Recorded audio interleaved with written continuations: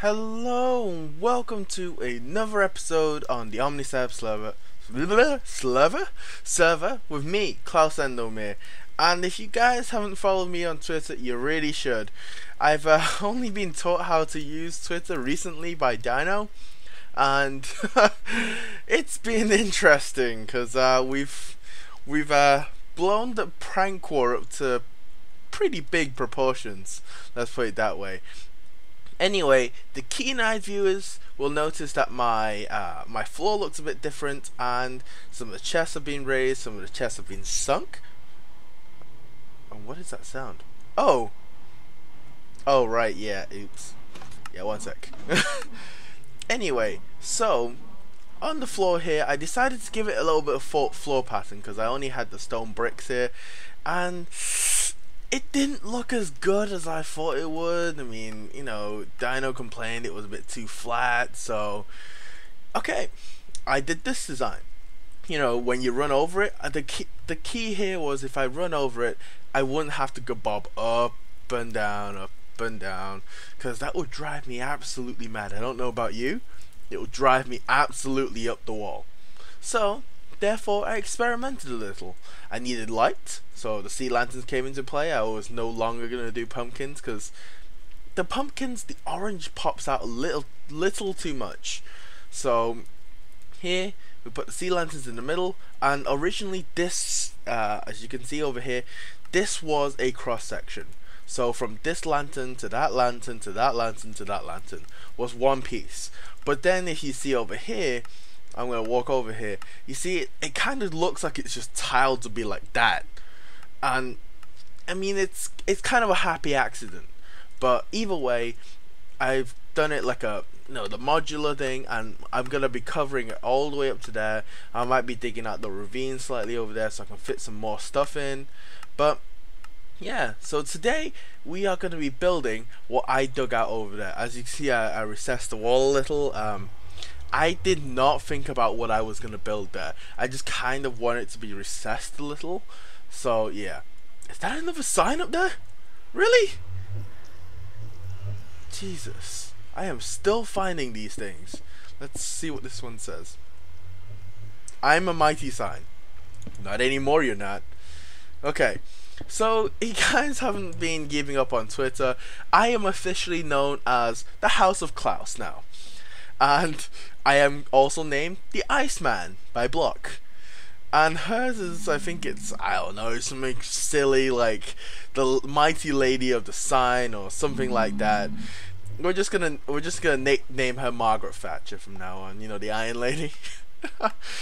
I, I don't think that joke's gonna go down well. Anyway, so what I thought to we'd do today was we do a blast furnace design, and I thought to myself I want to integrate it into a place where I have access to my ores because right now my sorting system over here has the coal, has the um, has the iron, and I think it has gold down here somewhere. I want to say, uh, yeah, gold right here. So, you know, it's um, I gotta ship all of these up to the big furnace to smelt them, and I thought what better way to do it than just to have it in the storage area? And I, you know what? That idea was quite nice. You know, I, I thought about it. So right here, you know where the floor design is, I'm gonna have it. Um, I'm gonna do the general sort of, you know, layout of what I want my design to, uh, what my storage room to be. Essentially, is basically what's gonna happen is you see this line of hoppers right at the top. It delivers my stream of goods. So you know, um, everything that's not not sorted right now is in this hopper. Uh, sorry, not hopper, chest. Um, and I'm thinking about putting chests, you know, here and just sorting them over because you can put uh, two signs. Uh, sorry, two signs. Oh, I can't get my words out today. Two uh, item frames next to each other. You can put items in them. So I'm planning to put another set here and like a, uh, a set all the way across where this hopper runs although that being said, I need to recess the um, I need to recess the hoppers a little bit. That's easy enough. Uh, easy enough done. So I'm just gonna run another row here of these storage uh, storage bins. Storage bins. sorting I uh, oh, I I cannot speak today. Uh, these item filters, and we're gonna have one running up here, and it's gonna run back through over here. So there's gonna be another set here. You can see where I dug it out already. And it's gonna come back and run another line down there. So then it's gonna come back to a chest down here where everything else is gonna be thrown. So I'm I might have it so it's like a chest right at the end and you know everything that's not sorted will end up in that and so I'm gonna plan to expand this uh, room this way and that way slightly because I need more room down there or I could just um, mm, I don't know if I need this area because I've already dug down there for the mine. And there's also I think if memory serves there's yeah there's lava behind here. So I think I caught a lot of my obsidian from here. But anyway so that's my original plan. And obviously as you know with me my plans change. And they do change very regularly. So yeah. Also uh, for the other guys who have noticed the iron throne is in my storage room. This isn't where the throne room will be okay? So I'm thinking the throne room here will probably be moved to I want to say because I don't want it to, you know, because Block is obviously during the prank war, Block is going to have access to this thing, and I'm I want it to be obvious, but I also don't want it to be way out of the way. What I'm thinking is if we put it right at the back, right there, or either right there, just above the staircase when you come in because then you can sort of sit there and survey across this area. This um, staircase will be gone there's another sign up there. I'll take care of that in a minute. Uh, so, might have it here so you can survey all the way down the ravine. So you can see the automatic farms, the normal farms down at the bottom, the storage area, the tree farm. Just you can see everything, or you can have it on the other side, which can do that as well. But I was also thinking, maybe if we put it up in the automation section, so she'd have to walk past all of my automatic farms to get to this thing. I know it's gonna be inconvenient. I know it's gonna have to be stuff will have to be moved up there every single time. But if we have it like across this bridge and maybe in that area, I can't. No, no, that idea is bad. Okay, I am already shutting that one down. So we're gonna probably go that that one over there or that one over there I'm gonna start creating it in like a test world and you know see if I like it or not and yeah see what works. I mean this stuff was pretty impromptu. I should have done it in the stream because I was really just placing them down having them look next to each other and all that so yeah. The light level is great here now and the floor is starting to come together. I've done so it reaches in there so it looks like it's integrated right in there. Uh, I'm gonna do more down here. Uh, I haven't done them right below here but I will since I, I, if you see here I've done it here. I think I've also got a sea lantern in the corner. But yeah so today we're gonna take a crack at taking a uh, working a blast furnace because I think I have a design in mind but I'm also gonna tweak it slightly if that allows like the um, like the cow farm. Because that was obviously you know it, I needed it to do a certain thing so that's why I tweaked it. But obviously if I can't tweak it and it's already the best design then I won't tweak it. You know what I mean? So I will get cracking on that. I'm gonna dig out an area around here because uh, obviously the iron throne is not to stay and so I can have access to the um, the ores and I'm just gonna take them gonna whack them over here. Yeah so it should be all good. I'm also planning to um, sort some of these items because if you look at them, they're just kind of being randomly bunged in here. You know, the ice is uh, ice is next to the glass. Uh, the mob drops are together, but the witch drops down there. Uh, the food is all the way down here where it should be at the front, so it's accessible. Uh, like the stone, the stone is free chests. I'm planning to build like a silo kind of storage for this kind of stuff, and yeah, but I mean, it's uh, uh, later on I'm gonna have like a mini sode and I want to talk to you guys there about what I'm planning and you know I've got a little book I've written it all down. So I'm gonna take a, quick crack at this and I will get back to you guys soon. Alright so I've dug out a fair area. I think I might have gone overboard but I would say it's not too bad. I mean you have these two to cover up and I will be making a faceplate for them. Uh, I don't know if I want to make a faceplate, but I definitely will be making a side plate for this. And what are these three chests here for? Oh, right, yeah. This is where I was going to store the signs for the prank, except I never made any signs. Well, I did, but I never used any signs. So, yeah, I've dug out this area and I'm just gonna go over and quickly do the floor and then I'm gonna move on to the building. So I'll see you guys in a second. Okay, so I've quickly done the floor and boy, it's it wasn't quickly for me. I'll put it that much. It wasn't quickly for me. Anyway, so this is the floor I'll be working on. Uh, there have been uh, some issues. If you look here, uh, the stair under there, the stair under there, and the stair under there, they all become black, and uh, I'm kind of sketchy on that. So under there, I might just place like a piece of complete sandstone. So yeah. Anyway, I'm gonna quickly do like sort of like a mock-up of this thing, and then I will get back to you guys. So I'm gonna do a skeleton, then I'm gonna decorate it, essentially. Okay, so this is the finished product. I know I made it out of birch and it really doesn't fit. So I wanted to fit it into this area. Do you see the two birch blocks here. There was two birch blocks at that second row of chiseled uh, stone. Yeah, as you can see, didn't fit into that area at all. So I'm not gonna really complain about it. I mean, back here is kind of, it's out of the way. There's two masking units, and it's you really can't see it. So I'm not really that fussed about it. Um, being as up as it should be.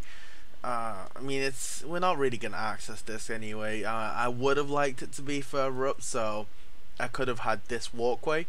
Um, but honestly, yeah, I think I'm gonna tear it down. One hey, second. So after moving it over slightly and um, adjusting everything, uh, this should be complete. Should be. Uh, I'm gonna put a chest there, put a chest there, and put some hoppers Ugh, right there. Okay, so this should be complete now. And let me show you. This design is by Mumbo Jumbo, and as I said before, it's going to be a lot of designs by him. Uh, some I will modify to my needs, some I won't. Mainly because this one I tried to modify and put everything behind the furnace, and have the furnace faces showing, yeah, that do- can't happen. you can, and it gets really complicated really, really quickly, and it just took up too much room for it to do. So I, I thought, might as well do it this way. I'll make it pretty afterwards, and yeah. So let's do a quick run of this. Uh, let's see, the iron should be this side. Um, there we go. We'll grab a stack of iron, and as you can see, I've got some uh, lava buckets. So there's a chest full of lava buckets over here and I'm gonna pop them in here. So I've got some signs as well. I am going to be using these. I'm gonna put this up here. Put fuel. Fuel. Uh, yeah, you can sort of read that. Uh, and then here, to be smelted. There. And then uh, output. Here we go. So I'm gonna pop. Uh, obviously, I popped all the lava buckets in there. Did I pop all of them? Okay, I'm gonna pop all the lava buckets in there. And what happens is, uh, let me get up here and I'll sort of try and explain it to you. So this chest where I put the input in, uh, which I will do right now. There, put the input in, and so what's gonna happen is the input is gonna flow into this chest uh, chest, uh, minecart chest, sorry. Uh, and it's also gonna act. Uh, it's gonna pulse down here. Oops, sorry. it's gonna have a signal so it goes straight down here because that hopper has stuff in it and it's gonna trip the comparator, send the signal through the repeater into this block down here into this repeater and into this pulse generator. The pulse generator is going to take that signal, pulse it into this, and pulse it into this redstone torch, which activates the rail and the redstone here. This block powers both this side and the top rail, the bottom one obviously being for fuel. Okay, so what keeps it running backwards and forwards, you might ask? As you can see down here, I've got a com uh, comparator and it's hooked up to this first furnace. So as stuff is coming out or through, anything that uh, comes through here will trigger it and it will do the exact same thing all over again. So it will trigger and send the minecarts. And over here we have just uh, there's nothing special. It's just the end of the track and a, a redstone torch to pull, um, to operate this. Uh, uh, sorry, powered rail. It's important. Uh, well, this was a directional build. I tried to build it lengthways this way, so it just you know fit in. Didn't work because the powered rails connect to each other.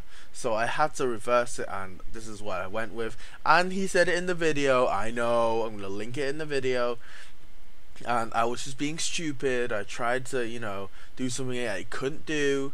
Anyway, so uh, that one distributes all the fuel across uh, evenly, and this one, as it rolls across, I did test. It should distribute one per like as it rolls over. So it'll keep uh, it'll go, uh, keep going, and as the second load goes through, it'll keep going, and so on. So it should all be operational now. And if I go down to the bottom, open the output, I've got seven. Seven. That's weird. Uh. That's. Oh dear. Um, hmm. There should be eight. Ew. That's not good. Anyway, so th there are some kinks, but honestly, I'm using an endless supply of fuel, and once I get my blaze, uh, uh, once I get my blaze farm up, it'll be just blaze rods for days. So hopefully that's you know you know gonna power my thing, but I'm gonna take a look now. What's happening? So there's no nothing in there, nothing in there. So nothing is power, nothing is in these now but I've only got 25 ingots. That's weird. Oh, you know what it is. Ah, uh, all of them are in the chest. This might, no? Is it in the, did I put a stack in? Oh, that's odd. There's three here. There's no none anywhere else. Not that I know of. Unless went that one maybe? No, they're all gone. Th that's okay. I put in a stack and they're all gone. I'm sure I put in a stack, right? One sec. I'm gonna go over uh, to here again. You know what? I'm gonna put in another stack, see if it flushes the system out. Because that's really odd. Okay. To be smelted. Boom. Right in there. Okay, off it goes again. I don't think I put in 25. I might have by accident. I'm gonna have to review the footage, but I'm going to quickly wait for this to finish smelting, uh, for the whole thing to shut down, and I'll see what happens. So I'll see you guys in a second. Okay, so after um, investigating, I have realized for some apparent reason, you see the problem too, right? The fuel line has iron ore in it and I'm not sure if it's doing this on purpose but I'm gonna grab these and I'm gonna put them back up front because these they they add up to more than a stack that's a problem Because these aren't supposed to. They're not supposed to do that. That's weird. Okay. Um, hmm. So, I am going to put these back in here. Put the stack in. And I am going to... Uh, let's see. See, it happened again. Why? I... What's up with this? You know what I think it is? As the minecart travels along, you see, it's sort of on top of each other. It's sort of on top of each other. That's it. That's the mystery. The the minecart at the top is offloading to the minecart at the bottom. No, wait. That doesn't happen. Then what is happening? Doesn't look like that's happening. Okay. I'm gonna... I don't know what's happening. So let's see if this happens. Offloading here. Is anything coming through the hopper? No. But there's stakes in here.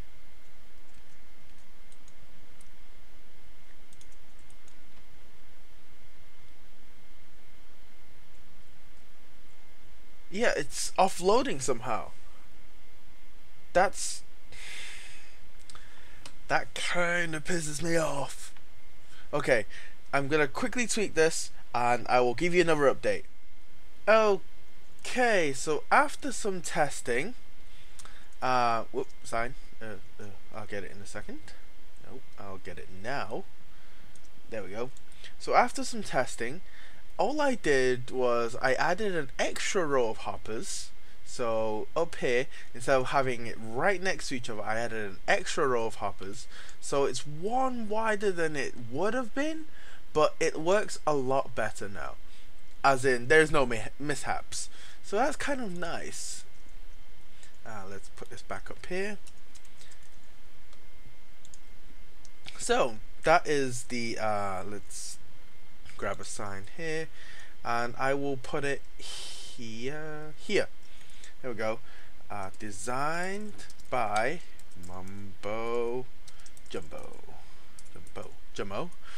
Okay designed by Mumbo Jumbo. So this whole design is by Mumbo Jumbo and I've just I'm not even going to put up there that I've just reworked it. It's just an extra line of hoppers so they're not sat on each other. Um, I don't know what happened there, and I'm not sure what occurred, but I am go. So just over here, uh, I have put a repeater so it transfer the signals from that block into that uh, that rail. So that's it. That's all I've done, and yeah. So yeah, thanks for joining me, guys, and I hope this has been. Eh, somewhat of a good episode. It has been in it in, uh, in it has been weird for me because I thought his designs would work and it was relatively recent. So yeah, so I've got my new blast furnace up and running now and it's running on lava. I just need an efficient way of collecting lava now. So thank you for joining me guys and it's hello from the house of Klaus from now on and I'm just gonna read the uh, I'm just gonna decorate this a little for next episode I'll see you guys next time. Bye for now.